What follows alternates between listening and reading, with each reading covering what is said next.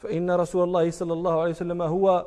محمد بن عبد الله بن عبد المطلب بن هاشم بن عبد مناف بن قصي بن كلاب بن مرة بن كعب بن لؤي بن غالب بن فهر بن مالك بن النضر بن كنانة بن خزيمة بن مدركة بن الياس بن مضر بن نزار بن معد بن عدنان.